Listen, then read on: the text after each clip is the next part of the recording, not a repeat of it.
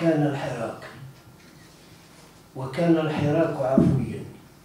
وكان الحراك بقيادة خيرة شباب الريف.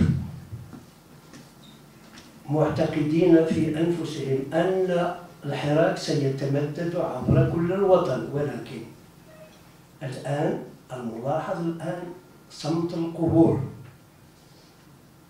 الملاحظ الآن صمت القبور. ينتحرون في معتقل عكاشة يضربون عن الماء والسكر. ولكن لا حياة لمن تنادي. أين الوجهاء؟ أين الشخصيات؟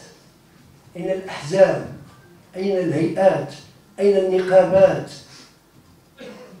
بجلال قدرهم وبقيمتهم وقامتهم لم يستطيعوا فعل أي شيء. هؤلاء يموتون داخل جدران المعتقل